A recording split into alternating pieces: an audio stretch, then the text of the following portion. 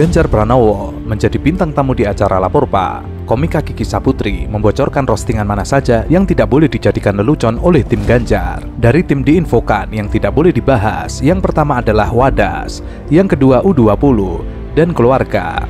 Maka ia tidak bahas. Ia pun merasa heran mengapa membahas soal Gibran boleh ditayangkan, nyenggol-nyenggol pihak lain tidak boleh. Kok beat soal Mas Gibran nyebrang malah ditayangkan, sementara roastingan terhadap beliau malah dikat. Kiki Saputri juga diduga menyinggung sikap Ganjar Pranowo yang baperan saat di roasting. Pasalnya, Kiki mencuit kekecewaannya di akun X. Sudah kuduga, maafkan ya teman-teman. Nextnya nggak usah lagi-lagi dah. Lalu, apa sebenarnya yang terjadi di Wadas dan juga U20? Pertama, Wadas.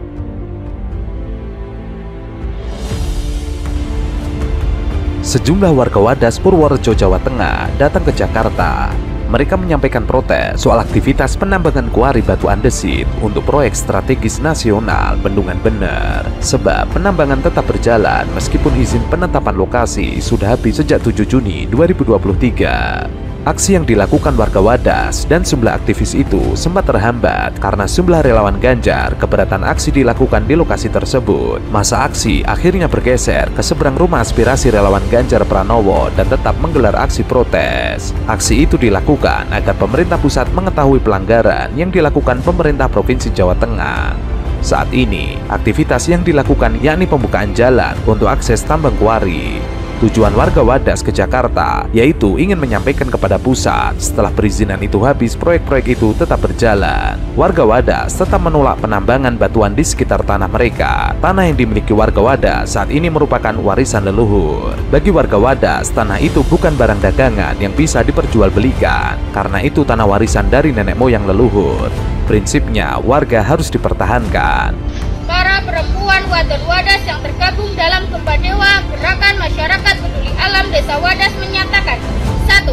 Tetap konsisten menolak rencana pertambangan di Wadas 2. Menghormati warga Wadas khususnya Wadas Wadas yang tetap konsisten menolak tambang 3. Menolak tambang adalah komitmen Wadas Wadas untuk menjaga 27 mata air, lingkungan, tanah dan ruang hidup perempuan dan anak cucu dari kerusakan dan kepunahan alam akibat tambang.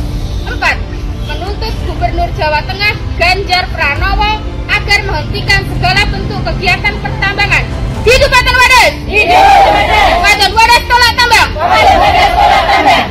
Mereka juga khawatir jika tambang kuari itu tetap dipaksakan, maka akan terjadi bencana longsor. Pemprov Jateng telah melanggar aturan untuk kesekian kalinya. Hal itu diperkuat oleh putusan Pengadilan Tata Usaha Negara Jakarta nomor 388. Pertimbangan hakim dalam putusannya pada pokoknya menyampaikan bahwa rekomendasi pertambangan di Desa Wadas yang diterbitkan oleh Dirjen Minerba Kementerian SDM tidak memiliki kekuatan hukum mengikat maka jelas bahwa pertambangan di Desa Wadas dilakukan secara ilegal dan melawan hukum. Pelanggaran kedua yang berkaitan dengan tambang termasuk pembukaan akses jalan juga tidak boleh dilakukan sebab masa berlaku IPL sudah habis. Penolakan warga Wadas terkait tambang kuari untuk PSN Bendungan Bener sudah berlangsung lama. Mereka juga beberapa kali mendapatkan intimidasi. Pada Februari 2022, warga dikepung oleh ratusan polisi. Aksi itu dikecam oleh banyak pihak, terutama organisasi HAM. Kejadian menjadi viral di mana-mana karena saya menjadi tertuduh utama. Pembuatan bendungan bener di Purworejo yang kemudian menjadi terkenal dengan kasus Wadas. Dan itu menjadi stempel hitam. Satu aja saya bilang sama kawan-kawan saya, biasalah menghadapi persoalan. Jangan lari dari persoalan.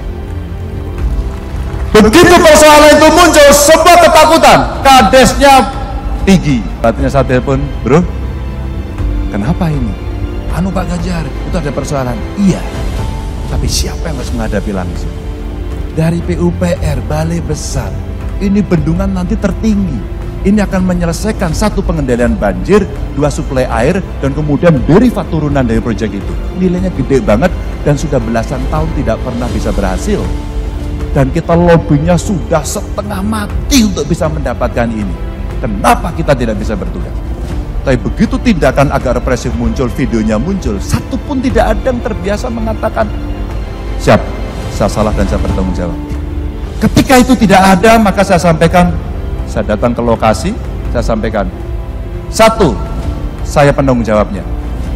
Dua, ini saya bereskan. Tiga yang ditahan saya minta keluar, empat saya akan mendatangi orangnya. Hari ini saya masih dibully, tapi seluruh informasi tidak terbagi dengan baik. Maka saya sampaikan kepada mereka, ketua kelompok penolaknya sudah menerima dan mendapatkan ganti untung 11 miliar. Saya komunikasi sama Pak Presiden, Pak Jokowi, udah Pak Gub, silahkan diteruskan, izin Pak. Skim ganti ruginya ini bagus banget Pak. Itu akan memudahkan kami untuk berbicara dengan mereka. Dan sekarang 100% semua sudah diukur lahannya. 100%. Bakal calon presiden PDIP, Ganjar Pranowo dianggap telah menyebarkan pernyataan bohong soal pemberian uang 11 miliar kepada ketua kelompok penolak pembangunan bendungan bener di Wadas, Purworejo, Jawa Tengah. Hal itu diungkapkan oleh akun Twitter Wadas Melawan yang mengunggah sebuah video berdurasi 59 detik dan beberapa utas kicauan. Video tersebut mereka pernyataan seorang bernama Mbah Sudiman yang disebut sebagai Ketua Gerakan Masyarakat Peduli Alam Desa Wadas. Dalam beberapa hari terakhir, jagat media dihebohkan dengan statement Ganjar bahwa ketua kelompok penolak tambang yaitu Gempa Dewa telah menerima uang 11 miliar rupiah. Statement itu tentu saja mencederai komitmen konsistensi warga Wadas. Menurut akun ini, pernyataan Gubernur Jawa Tengah Ganjar soal ketua kelompok penolak tambang telah menerima 11 miliar rupiah telah mencederai komitmen dan konsistensi warga Wadas yang tergabung dalam Gempa Dewa Terlebih, kelompok ini masih konsisten menolak tambang. Tidak sepeser pun ketua Gempa Dewa menerima uang sebagai tanda diserahkannya tanah untuk tambang.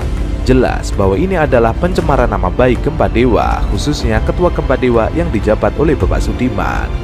Menurut akun ini juga, siapa pun yang menerima uang dari tim pembebasan Tanah Wadas atau Ganjar CS maka bukan anggota, apalagi ketua Gempa Dewa, karena memberi dan menerima uang pembebasan tanah untuk kepentingan tambang sama dengan tidak peduli kelestarian alam desa Wadas. Statement bohong dari Ganjar adalah bukti penghalalan segala cara untuk melegitimasi penambangan di Wadas. Belum jadi presiden saja sudah menebarkan statement bohong alias hoax. Gimana kelak kalau sudah menjadi presiden? Sementara dalam video yang diunggah akun Wadas melawan, Basudiman yang disebut sebagai ketua Gempa Dewa mengatakan Sejak ada pembebasan lahan, dirinya belum pernah menerima uang sebesar 11 miliar sebagaimana yang disebut Ganjar.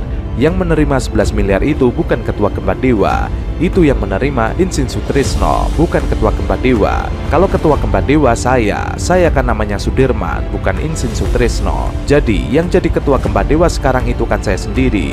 Jadi, saya masih menolak sampai sekarang. Sejak ada pembebasan, saya belum pernah menerima uang pembebasan 11 miliar semenjak saya jadi ketua gempa dewa kalau itu yang menerima 11 miliar itu bukan ketua gempa dewa itu yang menerima Ingsin Sutrisno bukan ketua gempa dewa. Kalau ketua gempa dewa kan saya. Jadi kalau uh, saya kan namanya Sudiman bukan Ingsin Sutrisno jadi yang jadi ketua gempa dewa. Sekarang itu kan saya sendiri jadi saya masih menolak sampai sekarang. Jadi yang menerima 11 miliar seperti yang disampaikan sama itu Pak Ganjar itu Pak Insin jadi bukan saya sendiri. Kalau saya sepeser pun saya belum pernah menerima uh, uang pembebasan dari pemerintah atau dari BPN gitu. Jadi saya sampai sekarang itu masih menolak Sudiman tidak merinci secara detail siapa sosok yang disebut sebagai Insin Sutrisno tersebut. Kalau saya, speser pun, saya belum pernah menerima uang pembebasan dari pemerintah atau dari BPN-nya gitu.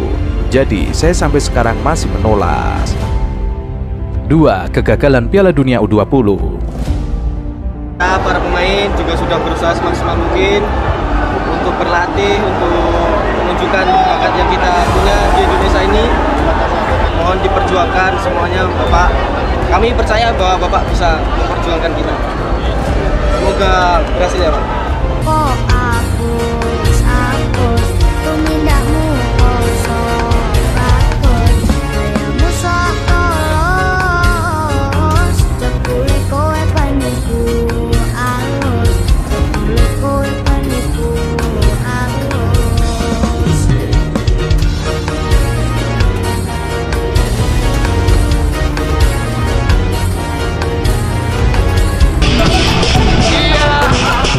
Ganjar Pranowo memberikan tanggapan soal pembatalan drawing Piala Dunia U20 2023. Sebelumnya, Gubernur Jawa Tengah tersebut menolak kedatangan timnas Israel di Indonesia.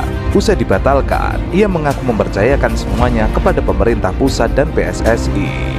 Drawing Piala Dunia U20 2023 sejatinya dilaksanakan di Bali pada 31 Maret 2023 mendatang. Namun demikian, FIFA membatalkannya seiring dengan penolakan Gubernur Bali, Wayan Koster, terhadap kehadiran Israel di wilayahnya. Ganjar pun juga ikut menentang kedatangan timnas Israel U20. Ia pun memberi jawaban singkat mengenai pembatalan drawing Piala Dunia U20 2023 yang berpotensi menyebabkan turnamen batal digelar di Indonesia. Ganjar tidak menyangkal soal penolakan terhadap timnas Israel U20 termasuk dari beberapa kalangan masyarakat. Sebelumnya, Ganjar Pranowo telah menyampaikan pernyataan tertulis. Ia berharap agar timnas Israel U20 tidak ikut tampil di Piala Dunia U20 2023. Ganjar mencatut komitmen Bung Karno yang terus mendukung kemerdekaan Palestina.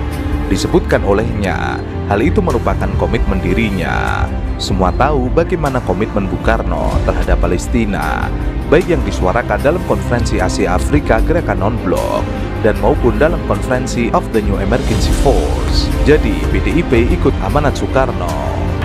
I am the son of a people or a nation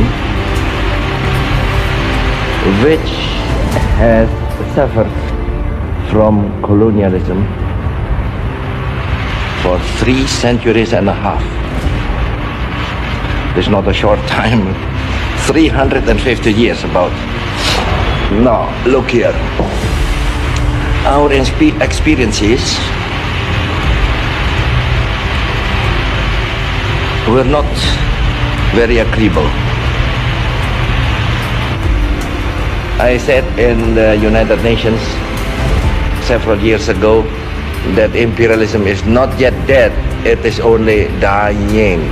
Sementara itu, Wali Kota Solo Gibran Raka Buming Raka mengkritik sikap sejumlah kepala daerah yang mempermasalahkan keikutsertaan timnas Israel di Piala Dunia 2020. Hal tersebut menyindir Wayan Koster dan juga Ganjar Pranowo. Padahal menurut Gibran, para kepala daerah sudah menandatangani government guarantee menjadi tuan rumah Piala Dunia U20 Selain itu, Gibran mengatakan bahwa sebelumnya setiap kepala daerah yang menjadi tuan rumah gelaran tersebut sudah menandatangani government guarantee. Gibran menegaskan pihaknya berkomitmen karena telah terpilih sebagai salah satu daerah yang akan digunakan sebagai venue dan direncanakan sebagai final. Ditanya apakah penolakan timnas tersebut salah satu bentuk pelanggaran apa yang sudah ditandatangani, Gibran menyebutkan untuk mengartikan sendiri. Netizen lalu membandingkan bagaimana seumpama yang menolak adalah Anies Baswedan. Pasti hujatan serta cacian tidak akan berhenti sampai satu tahun. Lalu bagaimana sikap Anies Baswedan terhadap Palestina? Ini soal kemanusiaan. Ya. Ini soal kemanusiaan dan peristiwa yang terjadi kemarin adalah peristiwa ancaman pada umat manusia yang bisa terjadi pada siapa pun, ya. apalagi anak-anak. Anak-anak di Palestina, sebagaimana anak-anak kita di sini, mereka punya masa depan dan kita ingin punya juga kesadaran yang sama. Kita doakan, kita beruntung di Indonesia akan merayakan Idul Fitri dalam suasana yang aman damai kita doakan semoga saudara-saudara kita di sana khususnya anak-anak di sana bisa merayakan juga Idul Fitri dalam suasana yang tenang, dan tenang. damai dan insya Allah seperti kata Bung Karno sebelum bangsa Palestina memperoleh kemerdekaannya maka bangsa Indonesia akan terus menentang penjajahan di tanah Palestina. Itu tahun 62 Bung Karno kata.